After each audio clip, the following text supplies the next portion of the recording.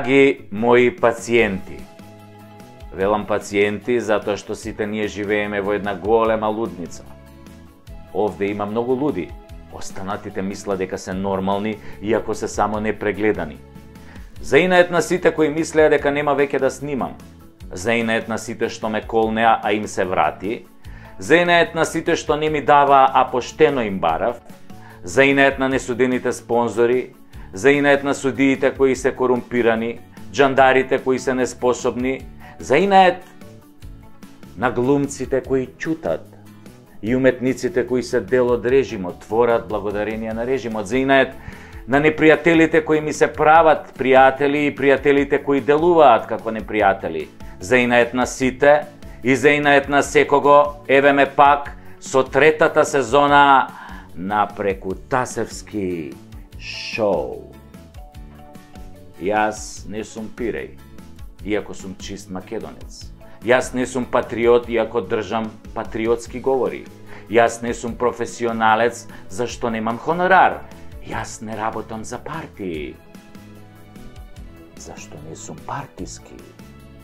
Јас сум Сашо Тасевски, а не партиски. А ова е преку Тасевски шоу и за жал не е веќе само шоу, туку е нешто многу, многу посериозно. Почнуваме. До сада, Абе, порано, у време на браковите кучове се знаеше дека беа романтични времења. Кои те седнеа тие двајца да се пичкараат на депата, бе, тоа беше милина да слушаш овој кој ти му рече на овој, бране, аре, иди магница, та едно виски, па да дојке правиме нова. Ча, не ади гомна, ја барем као тебе не се облакам у генералски шинели, не стојам гол пред огледало да се креам два сата, пивам нарцисо да тивам. Тоа беа времења, не, Стева го гледам, иде по луѓе во цела кампања, само ги тапка по рамо. Гледа нека го избра, сега ќе биде кој ги тргала. Сме го гледали ние тој филмише оваа Гордана, како да беше кандидат на некоја интергалактичка федерација, да првта дојде да на Македонија.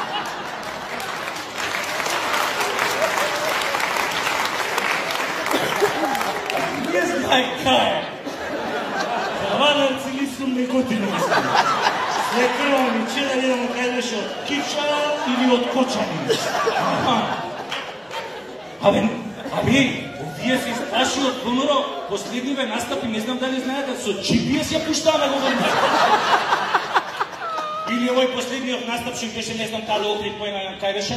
Значи GPS-ов откажал и го качија до неа Владко Ѓорчев. Пошо нема село Македонија па што не би.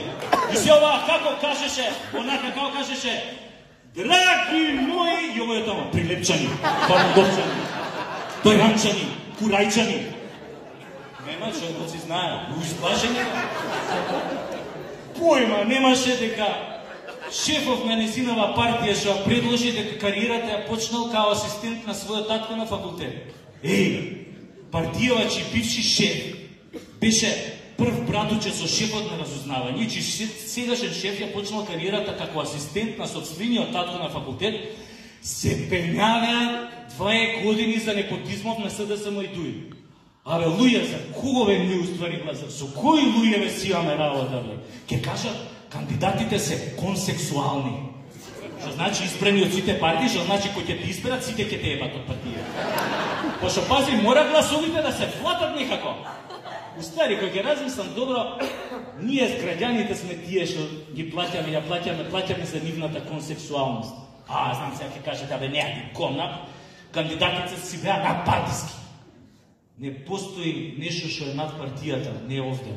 И Господ кога дели правда во светот кој ќе дојде во Македонија, тука кочи, крева раце, да чека. Ако ми даде дозвола партијава од вас да интервенира, кажи, ако не се се вака. Е, затоа решив после избориве формирав нова партија и сите очекувам да бидете дел членови таа нова партија ќе ги растуриме код свечки овие другиве. Партијата се вика Коалиција за успешен развој или КУР. Кур, ке ги исполни сите ваши дупки. Кур, секогаш стои цврсто зад вас. Кур е вашата иднина. Кур е во вашите раце. Кур секогаш мисли на вас. Кур за живот во Македонија.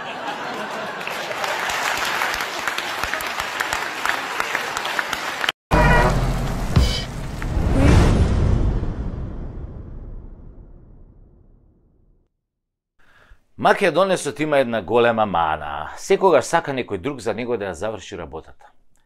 Ако живее во зграда, македонецот не оди на куќен совет, иако кровот тече и треба да се донесе одлука за поправка, се со образложение дека не била негова работата. Што ќе решеле другите, тој ќе го поддржал.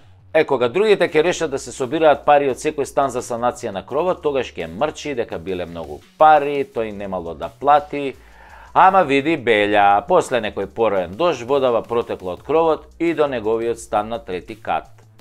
Е, тогаш почнува да брмчи дека председателот на куќниот совет бил неспособен, требало кровот одамна да се санира, која ќе му рече дека токму тој не доаѓал на куќен совет и дека поради него немало кворум, ќе лаже дека не бил нешто добар, дека бил на состанок, ама него виделе, бил седел во задниот ред тамо кај вратата и ќе наоѓа илјада други непотребни лажги оправданија. И се ќе направи да се извади од ситуацијата.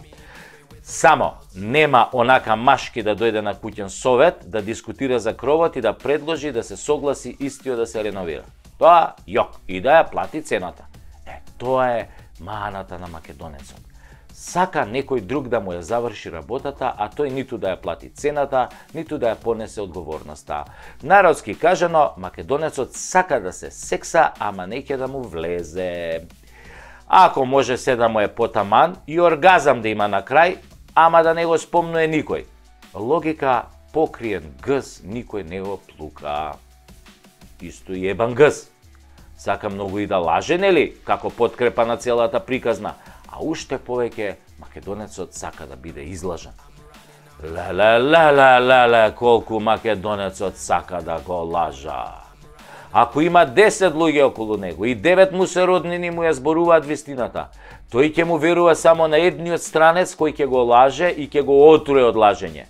И не мора да е странец, може да и некој од Муртино да кажеме, но Беловец. Да, македонецот многу сака хокштаплери кога го лажат и да им верува на нив сака и да се продава на ситно сака, например за радиодифузна такса, сака да се продаде, на пример. Исто така многу сака и да мрази без причина. Да види некој на улица или на телевизија и без никаква причина да измислува приказни за него и да го мрази. Ама нема да го мрази овој што го лажел, што го труел цело време. Не, него до крај ќе го почитува, ќе има респект кон него. И на крајот кога, кога ќе дознае големата лага, кога ќе дознае колку бил лажен од овој, пак ќе му верува. Мислејќи дека сепак нешто ќе ќари од тоа што ќе му верува и понатака. Тоа дека е генерално ситна душа и дека е плашлив, се можеш да му направиш, нема да се побуни. Нема да дојде пред влада и да истури лајна од некоја фарма за свињи кој сега французине што ја посипаа тамо што беше тоа Елисејска палата, што беше тоа што го посипаа со говнарка една. Им пуштија тоа собраа говната како од околни весела со септири. Им ја пуштија. Нема тоа да го направи македонецот. Па сите да дознаат дека не е инженер со лажна диплома, туку земјоделец кој чува свињи. Да, македонецот се срами од себе, од тоа кој и што е, се срами од честноста. Подобро купена лажна диплома отколку честно да заврши средна школа. Мрази честна работа до душа и се восхитува на криминалци и лажговци. Ке се искрши да се поздрави со некој политичар, ке се лигави ако треба и ке премолчи кога истиот ке се ке се удвара на жена му, ама нема на да најде сила во него да му залепи во очи дека е криминалец и дека бил излажан од него сто пати. Македонецот исто така побрзо ќе отиде на викенд отколку да си ја смени судбината на избори, да излезе и да гласа, да кажеме, како човек, како човечко суштество. Достоинствено и гордо. Одиш и со пенкалот им кажуваш на предавниците и лажговците дека им дошол крајот не, тој ќе чека и тука некој друг да му ја заврши работата. Некој друг како него, кој што чека некој друг како него и така овој до бескрај. И така, на тој начин нема да излезат ни 20% на гласање и лоповите ќе си останат на власт. И предавниците ќе останат на власт и ќе сотрат се живо во земјата со својот грабеж и рамилак. Зошто бе? М? Зошто не се однесуваме како човечки суштества, туку како лигни, како полжави? Зошто? Затоа што македонецот бил дунда и чекал под кошула да дојде и да го исексаат. Се криел. А што требало да направи? Е, што требало да направи? Сега, јас ке ви кажам со еден пример од еден култен југословенски филм, што требало да направи. Конечно, македонецот треба да се дотера и да отиде на гласање. На гласачкото место треба да покаже кој е кој и кој одлучува за судбината на оваа земја. Дека за судбината на оваа земја одлучува токму тој, македонецот. Кога ќе стигне, треба само да го заокружи ливчето и гласно да викне „Джесте пичке стиго Здравко Чолич? Е, е, после тоа ќе биде одличен концертот, верувајте.